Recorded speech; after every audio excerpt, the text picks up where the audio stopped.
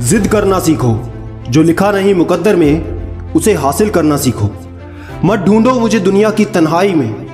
मुझे आई बनना है। मैं मशरूफ हूँ अपनी पढ़ाई में। दोस्त ताने भी मारते हैं लोग। जवाब देने का वक्त नहीं है। करके दिखाना है।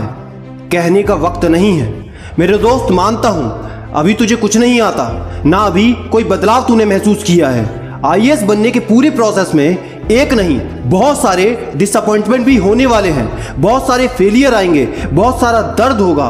कई बार तो खुद का भरोसा टूटने लगता है, कई बार खुद के ऊपर से विश्वास हटने लगता है। रोज भगवान से तुम ये सवाल भी पूछोगे कि आखिर इतनी मुसीबतें मेरे जीवन में क्यों हैं? लेकिन मेरे दोस्त, याद रखना, अगर दूसरों के हिसाब से अपनी ज़िंदगी जीते हो, दूसरों के विचारों को अपना जीवन मान बैठते हो तो एक दिन खुद को एक पिंजरे में कैद पाओगे।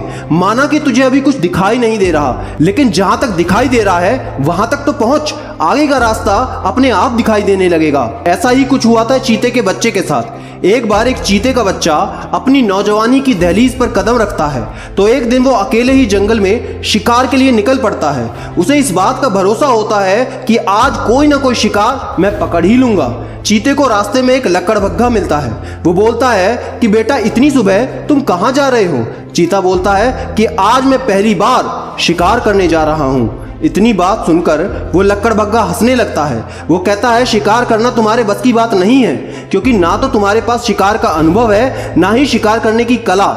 इसलिए लौट जाओ, खेलो, कूदो और मस्ती करो। शिकार विकार तेरे बस की बात है ही नहीं। ये सुनकर चीते के बच्चे का हौसला टूट जाता है।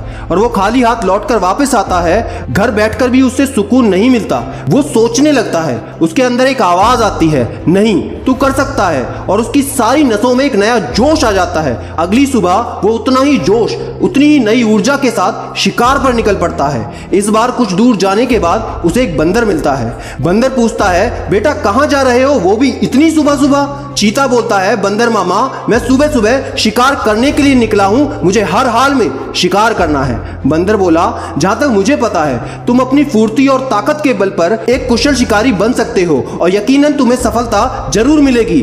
ये सुनकर चीता जोश और जुनून से भर गया और कुछ ही देर में उसने एक छोटे हिरण का शिकार भी कर लिया। दोस्तों, आपने देखा, वही है उसकी ताकत, वही है उसकी फुर्ती, लेकिन पहले दिन उसे निराशा हाथ लगी क्योंकि लक्कड़ बग्गे के शब्द से उसका मन खराब हो गया। उसकी क्षमता और शक्तियों पर सवालिया निशान लग चुका था, लेकिन अगले दिन बंदर के कुछ सकारात्मक शब्दों ने उसके अंदर एक नया जोश भर दिया। उसे खुद पर विश्वास हो गया और वो शिकार करने में सफल रहा। दोस्तों, जब भी आप यूपीएससी की तैयारी करते हैं या किसी भी कॉम्पिटिशन एग्ज़ाम की या अपना बिज़नेस बनाना चाहते हैं, अपने सपने को पूरा करने में लगे हैं तो याद रखना, कोई भी लकड़बग्गा मतलब नेगेटिव पर्सन आपकी टांग खींचने के लिए रास्ते में खड़ा होगा, क्योंकि बहुत ही कम लोग ऐसे होते हैं, जो आपकी क्षमताओं का आकलन करके आपको आगे बढ़ने के लिए प्रोत्साहित करते हैं। तो इसलिए आपको अपने अंदर की आवाज़ को सुनना है और आगे बढ़ते रहना है।